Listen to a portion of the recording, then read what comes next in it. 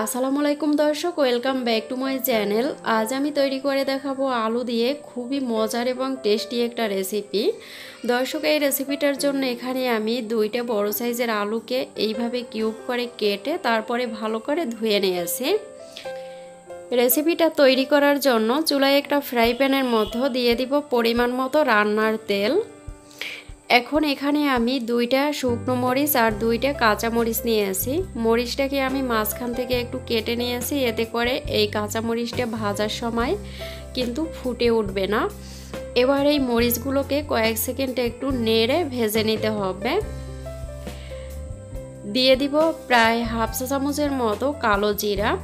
যারা কালো জিরাটা পছন্দ করেন না, তারা কিন্তু স্কিপ করেও দিতে পারেন।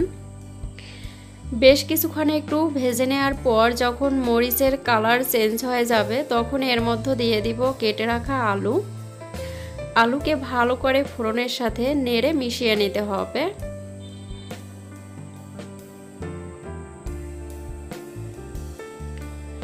এখন আমি চুলার আঁচ একদম লো হিটে রেখে এই আলুগুলো সিদ্ধ হওয়ার জন্য ঢাকনা দিয়ে দিব দুই থেকে তিন মিনিটের মতো। আর এর মধ্যে অবশ্যই ঢাকনা তুলে এক থেকে দুইবার নেড়ে দেখে নিতে হবে। অন্যদিকে আমি একটা বাটিতে প্রায় হাফ কাপের মতো বাদাম নিয়েছি। এখন চুলায় একটা কড়াই বসিয়ে দিলাম। এখন চুলাটা অন করে এই কড়াইয়ের মধ্যে বাদাম দিয়ে দিব। বাদামকে কিছুক্ষণ নেড়ে চেড়ে ভেজে নিতে হবে।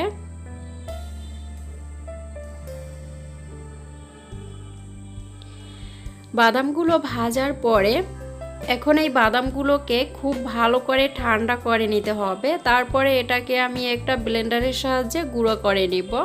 আর এটাকে বেশি মিহি করে গুঁড়ো করা যাবে না। এইভাবে একটু আধা ভাঙ্গা করে গুঁড়ো করে নিতে হবে। এখন আমি এই বাটিটা এক সাইডে রেখে দিলাম। আর এখানে দেখে নিব আলুগুলো সিদ্ধ হয়েছে কিনা। এ পর্যায়ে মোটামুটি আলুগুলো সিদ্ধ হয়ে আসছে। এখন এর মধ্যে দিয়ে দিব অল্প একটু হলুদের গুঁড়া, অল্প একটু লাল মরিচের গুঁড়া আর স্বাদ বুঝে লবণ। এখন এগুলো আরও কয়েক সেকেন্ডের মতো নেড়ে ভেজে নিতে হবে।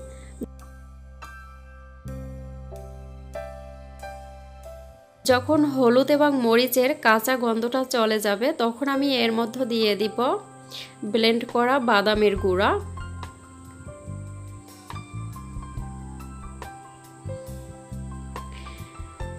এখন এগুলো দিয়ে ভালো করে এই আলুর সাথে নেড়ে মিশিয়ে নিতে হবে।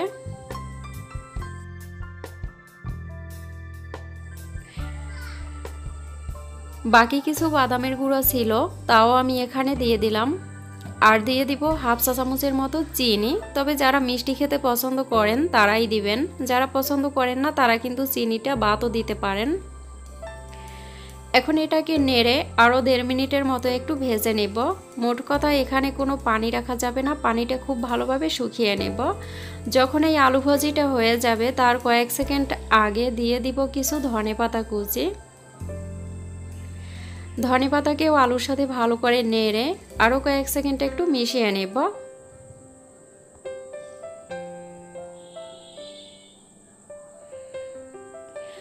এ পর্যায়ে আলু ভাজিটা আমার হয়ে গেছে। এখন আমি চুলাটা বন্ধ করে দিব।